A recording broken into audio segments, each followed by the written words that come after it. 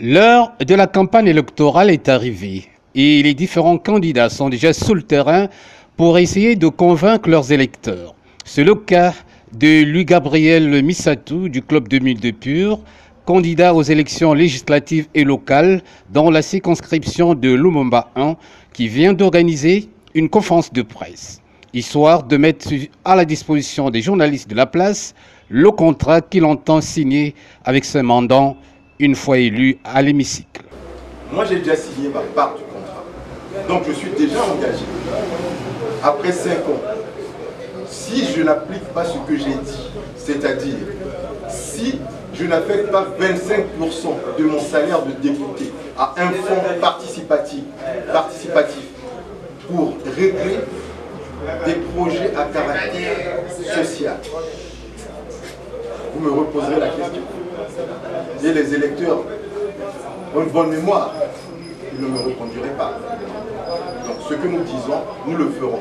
Nous le ferons aussi parce que je suis chrétien. Je suis chrétien. Et je fais la politique en priorisant les principes et les valeurs chrétiennes. Après s'être prêté à l'exercice des questions-réponses, le candidat de Lumumba 1 est parti faire un don composé des bassines des nouveau-nés au centre de santé intégré d'un PITA.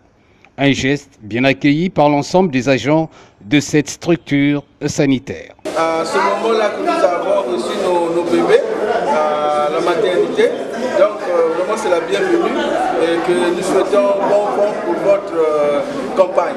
Mais vous voyez, les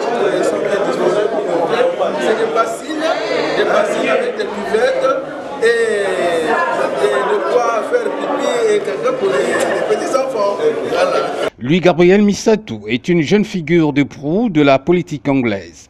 Juriste de formation, il est actuellement deuxième secrétaire du bureau exécutif du Conseil départemental et municipal de Pointe-Noire, porte-parole du club de Mille de Pure et porte-parole de la majorité présidentielle.